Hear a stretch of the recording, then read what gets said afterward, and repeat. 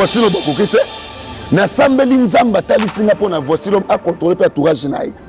eza na ceinture na ye wana bakoutilize motu moko na moi bapropose ye mbongo bapropose ye ndako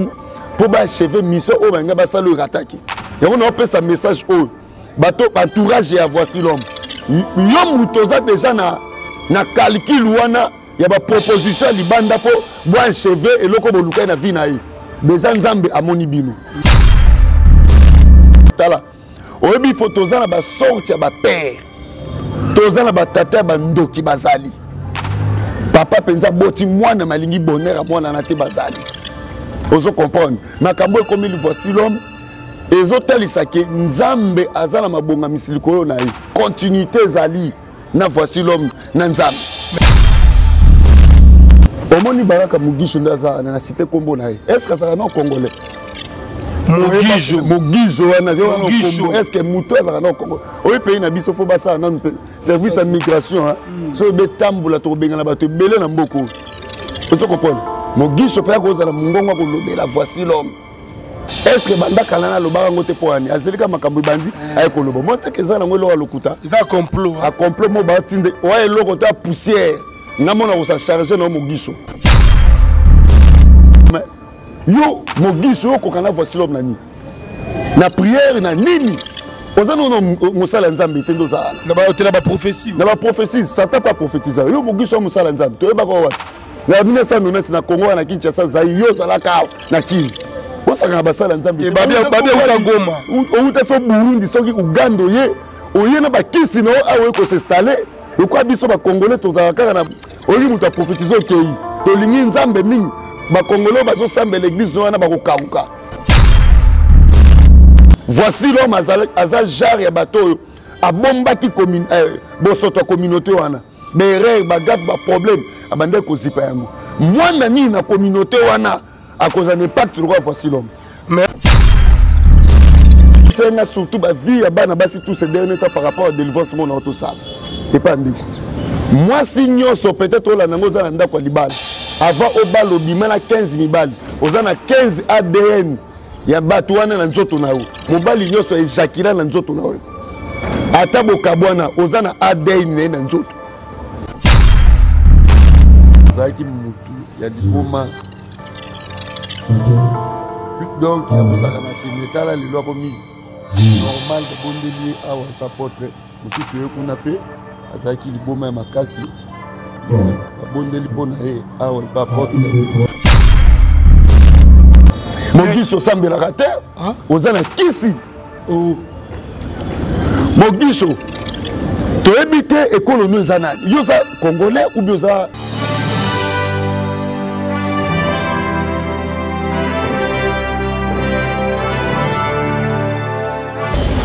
Voilà, bienvenue chez nous encore une fois, mesdames et messieurs, bonjour et bonsoir.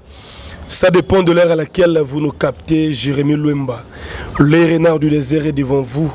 En tout cas, abonnez-vous très massivement. Partagez les liens, partagez l'émission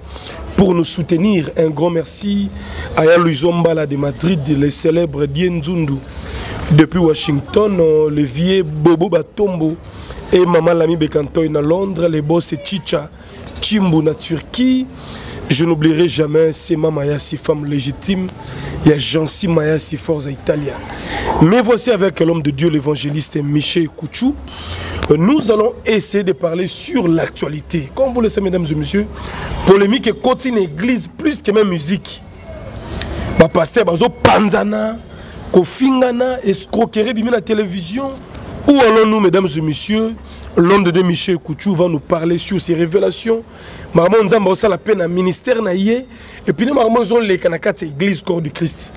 bonsoir papa bonsoir jérémi lwemba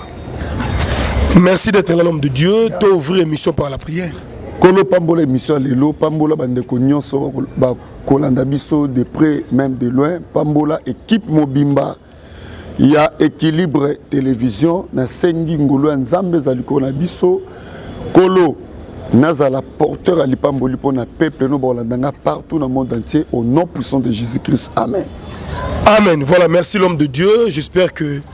santé ça va et puis évolution d'activité na nkolo c'est bon oui ça va par la grâce de dieu tozo évoluer kitoko mais tout ce dernier temps nazo préparer activité moko déjà toza na ba prière nango euh, sur euh, le, le destruction euh, les œuvres nocturnes des œuvres nocturnes misala ya molili misala ya butu donc butu nde ezobebisa makambo tout ya bavie bana na nzambe eza moi te eza butu donc butu ezalaka mystère soki moto alali bandoki bato ya misala mabe balalaka te bango baveyaka mpo na koseme mpe kobebisa bavia bana na nzambe yango nkolo atalisa ye ngai tosala 4 forte journée eza ya délivrance oyo tokoya wana na prière d'attaque mpo na kodétruire les œuvres nocturnes ekodébute quand ekobanda le 30 euh, août ekosila le 2 septembre l'église mède kuna na kisuki na na kamunganga na avenue diantela numéro 14 voilà ça c'est bien alors euh, ouais. lisolo mpe ya délivrance ya oto délivre nani bon na retour ya voyage nasalaki na johannesbourg na afrique du sud donc okóma na ngai nakomi après journée moko ezali na moto ya liboma moko reconi makasi na quartier pompage azalaki na bafulu donc euh, banie na mutu donc salite quoi donc euh, délivrance nzambe abikisi moto ya liboma wana je crois baimage wana ezali bafoto yango wana miso akoki koexerce bana na nse bamona babilo baomona na motu wana eza banie donc azalaki salite donc nzambe asalaki de façon que aleka na mokolo wana pembeni église donc ekutaki mpe na baseance ya baprière vraiment délivrance ya mwa mobali oyo esalemaki makasi évangéliste michel associé na d'autres serviteurs de dieu oyo tozalaki wana euh, merci mingi na apôtre franklin kotani mbongo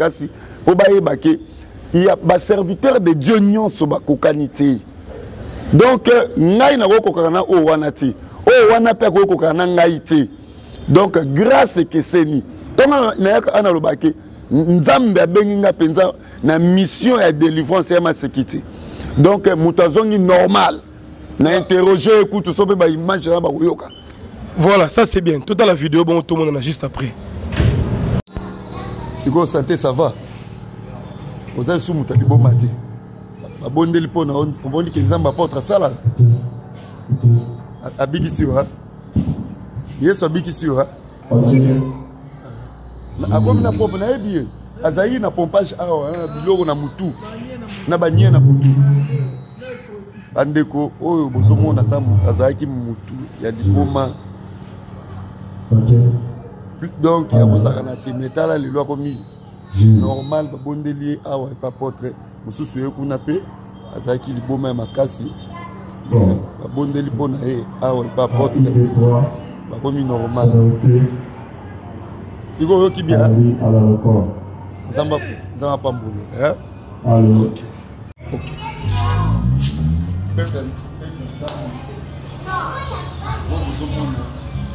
ezalaki boma total je crois bafoto eza na bomoi azalaki moto ya liboma tambola na balabala banie na motu mais nde bomoni ye bwakomi normal abondeli mpo na ye epai ya portrait azongi normal ba esprit wana liboma ekei saki amela kisi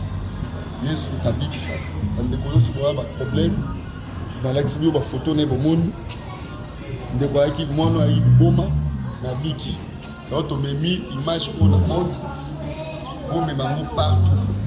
eservi témoignage mpona kotalisa ke jésus christ est vivant nzambe apambola bino bana Voilà, merci beaucoup de retour sur ce plateau. L'homme de Dieu, Tomoni, c'est que onction emati quand même te problème eza il faut kogarder onction eloko oyo nzambe atie kati na yo il faut avoir la vie de prière il faut beaucoup euh, lire la parole de dieu il faut jeûner et prier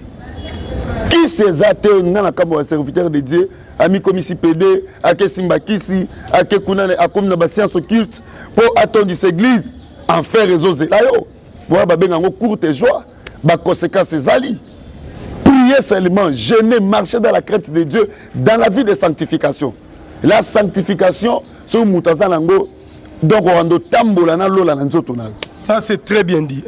mais oui l'évangéliste michel kuchu alors yo oza mpe ndeko oyo nzambe asalaka mabele papa tomoni ka ya délivrance ya moto ya liboma mais ntango ozotala lelo polemique oyo ezalaki na monde ya molili monde ya bamusicien monde ya bapoliticien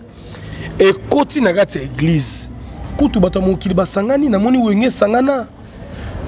waze kona kofi bayokana tomoni bamisie bazoyokana mai koma bapasteur papa bakoki kokoma na niveau ya polémique ya dimension tomona lelo bapasteur oyo tobenga bapaster atan de la fin il faut bato bacomprendre que nous sommes au temps de la fin eza réalité eza réalité il faut liloba na nzambe ekokisama mpo toyebaka ekolo yesu alingi azonga parce que la bible dit selon matthieu 24 24 dans le dernier jour il y aura plusieurs faux prophètes temps de la fin yango tozo traverse déjà tozo tozo palpe ba faux prophète oyo bible elobaki tobanda omona yango parce que eza na biloko oyo ezoya lelo ezalaka te na ntango ya kala ntango biso tokola toyebaka bapastere ya makambo oyo te mais lelo tokomoni bapastere na kati ya bapolemike bapastere bakomi kokitisa kondima bana na nzambe bapastere bakomi kopengwisa bana na nzambe yango bible elobi nous les serviteurs de dieu tokozala juge sévèrement Ce sont des signes de temps de la fin, Jérémy Luemba. Mais, mais, mais évangéliste, yo moni, oh, comme na ACK. Bah, excommunier définitivement François Moutombo, voici l'homme. Tala Moussala Sena Seka Kalimbilembe, il a été empoisonné, 10 mois à l'étranger, à Zongi Namboka, Babio, oh non. azo tosa mibe kote mpo azalaki na vision mona na teglise ne wana hmm. babuki bikeko wana babi eza biloko eza libanda doctrine Est-ce que c'est la jalousie Est-ce que c'est l'église, la communauté qui a voulu les tuer ozomona makambo voici l'homme ondeni mais makambo voici l'homme eza polele eza polele donc mwa eh, papa na biso wana aza ya nzambe pasteur voici l'homme aza ya nzambe naku naokumisa nzambe nde kutu babimisi ye wana Eh. oui ngai nakumisi nzambe makasi mpo abandaki deja kocourir na risque mpe azalaki deja na risque donc eza lokola délivrance ya voici l'homme eza délivrance banda vision na yo pasteur voici l'homme oh. banda vision koaccepte lisusu te bapasteur ya communauté wana baya korejoindre yo mpo ndenge baescominie yo yoka ezalaki mpe eloko nzambe atalisa ye nga bapasteur ebele baextension ya communauté wana mingi bakobima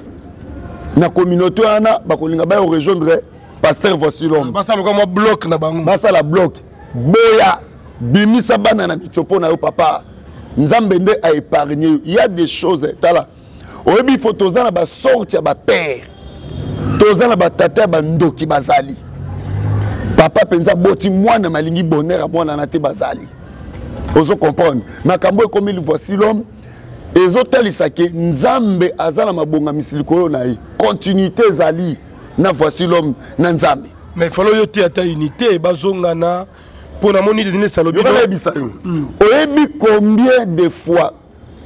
pasteur voici l'homme aza na humilité envers son père ou avec son, son ex père évêque mukuni son ex père oyebi humilité azalaki na yango ba erreur ebele esalema na bacommunauté wana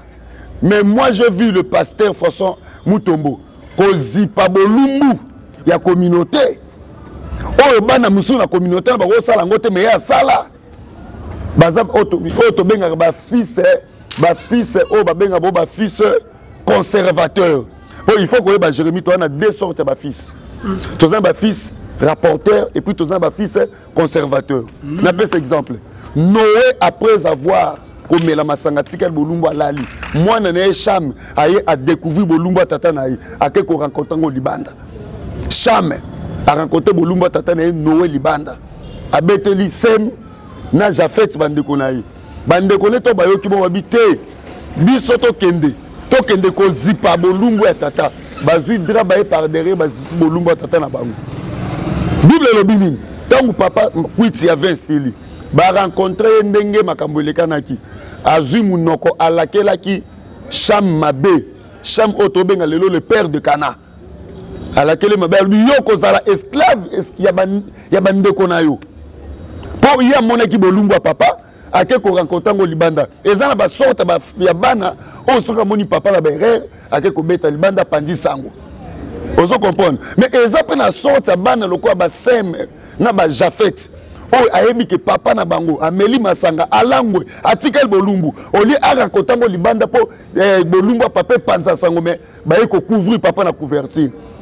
voici l'homme aza lokola eh, aza na, na race ya basheme na bajafete bano bazipaki bolumbu ya noe me mwana ya bongo akotambola na benediction mpo na suka yango moe noe apambolaki seme na jafete soki oyebaka te seme azali koko ya abrahame mm. mais bénédiction déjà eutaki epai ya nani ya noe papa na bango mpo bazipaki bolumbu voici l'homme aza jare ya bato oyo abombaki eh, bosoto ya communauté wana baerreur bagafe baproblème abandaki kozipa yango mwana nini na communauté wana akozala na impact lokola voici l'homme mais entre nous nayandi mpe prophète denis lesi nasalaki na émission alobi que voici l'homme tika baventure luka mbongo ni kamera ni conseiller kuta na mokuna pesa papa mabonza fukama aloba maloba bénédiction mpo na yo soki okeka bongo eglize ane ekauka eglize ya voici l'homme ekauka te denis lesa aza nzambe te atika koloba biloko wana ya bafaux schéma bafaux calcul mais wi na yo biso ya solo mais soki abimi na kirébellion ye abimi na kirébellion te babengani ye nde eloko ezalaka bongo oyo ye alobi ezalaka ke neti ngai nzambe abengi ngai nasala misio na ngai so nazalaki na onction ya papa moko ya molimo nde nakokende na biya ye papa nzambe asololi na ngai nabanda mosala na ngai ngai moko nde nakopesa offrande nde nakopesa action de grâce abondeli mpo na ngai apamboli ngai nakesa mosala na ngai ye avandi bo babengani ye bolingi na oya kufa liwera te bobengani ye epuis azonga kende kosenga bolimbisi quelle sorte ya schéma oyo azopesa ezalaka te mais a réparé na papa a réparé na papa ya ko réparé wa kende bien sauf voici non non non non il y a pas de problème voici ma rosila lokola onésime akosila nani l'homme de toi point onésime wa sila na bandal voici l'homme n'est pas onésime onésime aza onésime voici l'homme voici l'homme muna mutu bato bakokanaka te Au comprendre Onésime n'est pas voici non il faut pas mélanger des histoires ici non selon yo akota akesu pa mukuna te ono okende pa mu na na kotanga kombo tina kosu kosu esalinga kutu lokola kombo wana akende kuna kesani ake kuna kesala nini makambo eza claire polele boye bitumba eza makasi me bakoka voici no bakoki te nasambeli nzambe atalisi nga mpo na voici lome acontrole mpe atourage na ye eza na ceinture na ye wana bakoutilize motu moko na moi bapropose ye mbongo bapropose ye ndako mpo baacheve mission oyo balinga basala oyo erataki yango naopesa message oyo bato entourage ya voici lome yo moto oza deja na, na calcule wana ya ba proposition ya libanda mpo bwa cheveux eloko bolukai na vie na ye deja nzambe amoni bino mm. donc nasenga na paster voisono masambela nzambe afungula miso ayungula ayungula mpe bato oyo baza pembeni na ye mpo ekozala na moko bapresente batiele deja ndako mbongo motuka mpo abeta lisusu bor Voilà, ça c'est très bien dit, le message est lancé, la, la confiance n'exclut pas le contrôle. Yeah. L'homme de Dieu est à l'entourage, kosala confiance na n'importe qui te yeah. parce que mabe esi ekoti na église bapoison ekoti na baéglise ekoti na misala tomoni bakomele bazosila et tout et tout ya beaucoup de choses qui se passe mais omoni lisusu après makambo ya seka ya communauté contre vasilom un grand prophète baraga mogisho oyo asala baprophétie abengi moto na telefone mama tombola mbetu okomona mbongo bato bamona bambongo bato bazo bambongo bambongo ya kisi wana bambongo ya multiplication yo kasi mbongo nde emema motu royaume de ciel ememela motu vie éternel mbongo obenga motu mpe natala mpela portemone portemone bimi mbongo wana bakisi wana est ce que ya bambongo ekomemela motu eh, royaume de ciel jamais mais ce que ntango otali badiri ya ndeko baraka mogisho contre voici l'homme abengi ye escro adetourna ye 20 000 dollars bon nayebi te na grandeur ya voici l'homme 20 000 dollars c'est rien mais alobi ke basalaki ne cope asa alesha na televizio apesa ye 20 dollar amela yango ozomona makambo oyo ndenge nini omoni baraka mogisho nde aza na site nkombo na ye estce azalaka na congolais mogijo mogijo wana estce moto azalaka na congo oyo pays na biso fo basala nanu mpe service ya migration hmm. soki betambola tokobengana bato ebele na mboka oyo ozo comprendre mogiso mpe akozala mongongo akolobela voici l'homme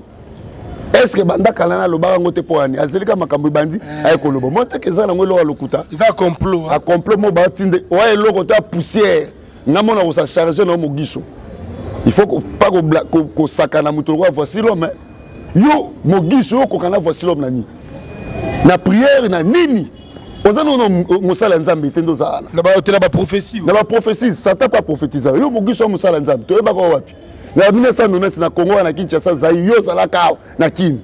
bosakaka basala nzambeouta goma outa so burundi soki uganda oye oye na bakisi na yo awa oye kosestale lokola biso bakongole tozalaka kaka na oyoki moto aprofitize okei tolingi nzambe mingi bakongole oyo bazosambela eglize no wana bakokauka eglize wana ekotikala vide obikela na okamwa banda kala wana mpo na nini ye abimaka te na bamois de juin na bamois de juillet na ba mois de mars depuis depuis depuis depuis oye kozwa monoko kobimisa kosala oluka visibilité na nkombo ya motu mogisi osambelaka te oza na kisi oh. mogisho toyebi te ekolo no eza nani yo oza congolais ou bien oza nani bosakana biso bacongolais te de père et de mare pasteur vosilom aza congolais de père et de mère yo obima wapi obima wapi bozala reserve bozelaka na mingi te mboka oyo nde makambo nzambe akosala nettoyage akosalema na bato mosusu bano moko boye oyo toyebaka te ebimi mpe boye ebandi koapparaître wana courage eh? okozonga na, na uganda esika outaka voilà est-ce que mogiso mpenza nani te nayoki babe azala trois passeport moto atambola trois passeport bakangi ye na congo braza asala soki deux ans soki nayebi te sokipareskokaa mbongo na babakonzi eh, tala no bajaka bongo eza le passé na ye papa mais le passé déjà bongola motema ya bongo wana ezalaki le passé te eza kaka ndenge azomibengaka prophète wana mosusu azoba wana bayaka mogisho moto makiuna ye asala baprophétie nde ya solo abengi motu oza portemone na chambre problème eza boye jérémi hmm. ye ntango azotombola mongongo epa paster vosilom est ce que ye aza mpeya na poids na expérience ya évangile na expérience mpenza na spiritualité ye aza ya molimo ya nzambe mais sikoyo finalement l'homme de dieu nayebi te estceque ye aza na molimo ya nzambe mogisho nalobi eh, soki oboya mogisho na kongo tokondima sikoyo banani tokondima bato oyo bazogarde crainte ya nzambe oyo baza na parole de dieu pure baoyo baza koensegne bato la repentance oyo bazozongisa bato na nzela ya jésus christ de nazareth la bible dit eh, tala il y aura une grande différence entre les méchants et les justes entre celui qui sert dieu et celui qui ne le sert pas baoyo baosalelaki nzambe te lelo nde tokomona boka komobima ozo comprendre neti chemin oyo oh, prophète denis lesa abi ke non eh, pasteur voici l'homme akende afukama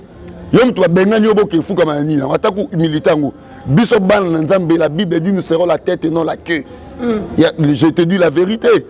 yo babengani okende o oh, kotula obendeyemi ese mokuna ya nzambe oh biloko mosusu mpe boye fo otalaka ti a nzambe te nga so nakomi kaka na point ke bino bokomi koencourage division église toencourage division te babengani ye nde biso toanalyse tosambeli nzambe tomoni ke balukaki nde ye na mabe nzambe alongisi nde esote na makambo ya jeremi olobisaka mingi lelo donc eh, ngai so namoni nakomi kaka na point ke oza no nzambe te nde esika na mpe bonzambe ekitela ngai lisusu makasi voilà ça c'est très bien dit je crois que bascandale ezokoba na église baabus bapolémique moko bidon e inutile eza koegare bachrétien ebele maintenant bato bamotala mpena eh, ekomi bacomplot ekomi jalousie ekomi bapoison ekomi bainfiltre bakoti na mosala ya nzambe ebele na temps oyo bainfiltre baye na évangile boye boteki mai na église boteki bamai na église boteki baji na église boye kobimisa bambongo na kati ya baportemone ya bato mpe na basaki ya bamama bainfiltre oyo bozobima na basi ya bato ya mabala a na kinshasa boye na baespoir domination bozoprofetize bozotya makasa na lolemo bamosusu bake kutu baexagere baotya bipotya mbwa na misu mpo bo bando omona makambo ya bato na ndenge ya kindoki bainfilite oyo boye na congo toyebaka bino wapi congo ezali congo ya coutino fernando congo ezali congo ya, ya papa na biso muzadi na bala Congo ezali Congo ya papa Kelani. Ba mususu oyo toyebaka bino te boye kaka boye bo apparaître na mboko oyo babebisi évangile bobimela wapi témoignage na bino ezalaka nini boye kobebisa évangile boye na kindoki na église boye na bamultiplication na baéglise boye na ekobo na église boye na baséparation moko ya bondoki na église un jour mboka oyo ekobonga epuis motu nyonso alobaka ke kongo ekobonga te mboka yana ekobonga te mboka yana ekobonga te mboka kongo ekobonga me yo okobonga na bonheur ya kongo te hmm. motu nyonso alakela kongo mabe oyo alobaka kongo ekobonga te vi na yo nde ekobonga te me na miso na yo okomona kongo nde ekobonga ça c'est vrai na bapaster na batutu na bapoliticien baoyo balakela mboko mabe bino nde bokobonga te me kongo ekobonga voilà ça c'est très bien déclaré l'homme de dieu pendant ce temps eza bena bachrétien ebele posa ya révélation nzambe atalisaki ngai nzambe azoloba nini mpo na baka ya bato te naoke mingi kote bana basi nzambe atalisaki ngai surtout bavie ya bana basi tout ce dernier temps par rapport ya délivrance mona otosala epa ndeko mwasi nyonso peut-être olanda yango oza na ndako ya libala avant obala obima na 15 mibali oza na 15 adn ya bato wana na nzoto na yo mobali nyonso ejakila na nzoto na yo ata bokabwana oza na adn na ye na nzoto eza service moko nzambe azotalisa esengeli tobondela ata oza mwasi obala yango ozomona mabala mingi badivorce esalema parce que ozotambola na molimo ya papicho na molimo ya, ya, ya, ya tonto, tonto pichu na molimo ya andre na molimo ya, ya, ya, ya jacques otambola na molimo ya, ya, ya, ya papi ya exauce soki okusha na 15 mibali avant okobala yaya nayo tala liso tala lelo nde okomi na baproblème ya choix okomi na baproblème ya libala obali me baesprit ba adn ya bato wana ebandi koningana yango nde ezopesa yo bacomportement mosusu mabe na kati ya ndako ya libala yango nde ezomema oka motema moto moto okomi meme ozosala bolimbisaka na terme oyo oza une femme mariée ozo coucher na mobali na yo mais mpo ozwa sentiment okota na en estase il faut o réfléchir mobali wana ya kala oyo abanda koningisa bie koleka moto abali yo apres omizongisi eza kindoki yango nzambe ayebisaki nga service oyo ndeko aza na besoin nabondela mpo na ye nimero na ngai eza affiche wana bandeko na ngai bana basi bino moko nde parfois boyebaka te bozalaka motema moto moto na agitation avenir na yo eza nango bien mais yo moko na marche na yo nde akoze apresse akoze obala kaka ndenge moninga no abali baenvie badésir biloko wana nyonso yango nde ezosala ke okoma obanda kokote mibali na misapi mosusu ozolanda ngo otala nga wana obima na bapapa ya bato obima na bana bato oza na, na 17 bilongi na nzoto na yo sere na ngai yango ozomona age na yo oza nango tozoyeba kokalikile meme lelongi na yo te mpo oza na 17 figure mobali nyonso aejakila na nzoto na yo mama otambolaka na adn na ye na nzoto otambolaka na semence na ye otambolaka na identité na ye c'est très profond nazolinga nabondela mpono mpo nasunga yo de manière ke ata obimaka na 15 mibali 15 spermatozoïde différent eza na nzoto na yo ekosenga nettoyage tobondela na nkombo ya jésus christ biloko wana ebima ngai moko nayebi service wana osala na koloba yango awa te soki yo nde obengi na kobondela mpono epuis nzambe akodelivre yo soki mpe nano obali te nzambe akoba liso la plupart ya basi mingi mpe bazobala te eza kaka bongo babloke bachance babimi na desordre na mibali babimi na desordre sere na nga mpo na nini oza presse na vie mpo na nini ondimi no kozala deuxième bureau troisième bureau ya mobali wana mpo omoni kaka aza na mbongo est ce que oyebi richesse ya moto wana soki eza ya nini peut-être ya mbongo ya kisi bacondition bapesi ye ezala ata na 3 4 5 6 femmes yo ndimi omikomisa ata 5e bureau 6e bureau mpo ozwaka ne fiske 10 000 dollars ebongo avenir na yo otya yango wapi mais nzambe aza capable ya kopesa mobali oyo yo ozolinga ozala sixième bureau na ye koleka meme ye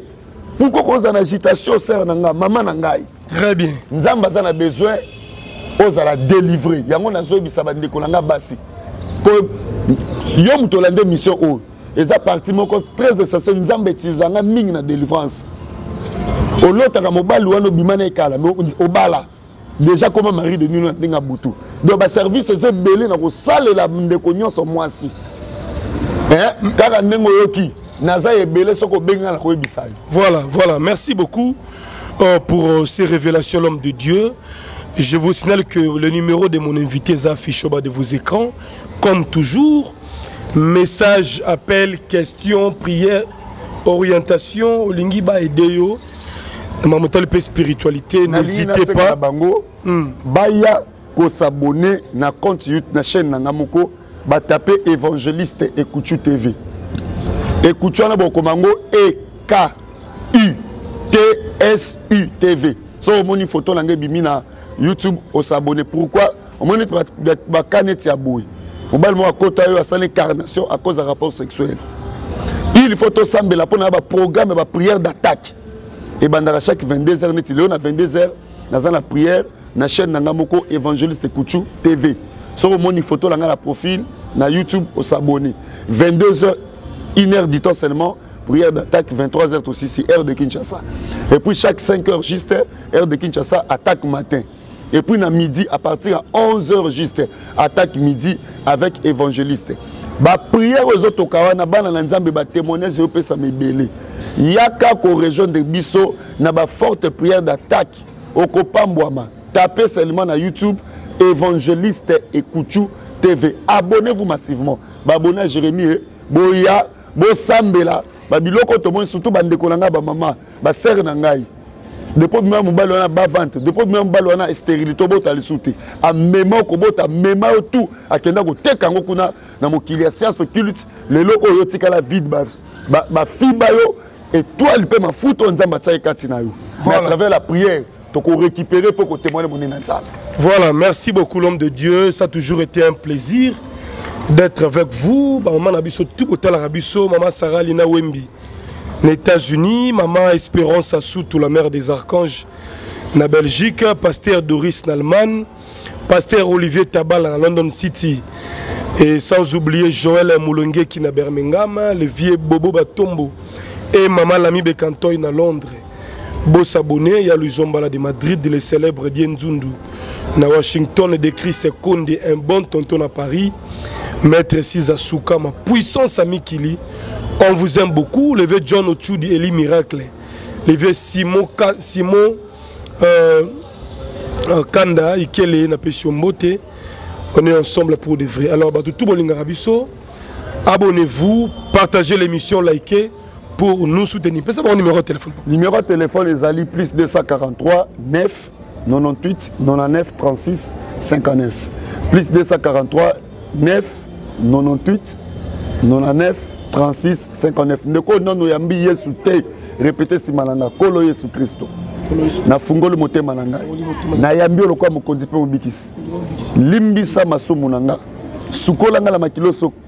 paki na ngomba golgota koma nkombo na ngai na livre de vie libela na libela na nkombo ya jésus christ amen, amen. yo moto oyambi yesu tika kolo apambolo benga nga région de nga na prière d'attaque na 22 heures ya lelo chaque jour kota na, na chaîne na nga tape évangéliste ekuchu tv tosambela une heure du temps forte prière d'attaque avec évangéliste vous serez jamais déçus voilà merci à tous et à toutes euh, Kramer Makala na Canada bye bye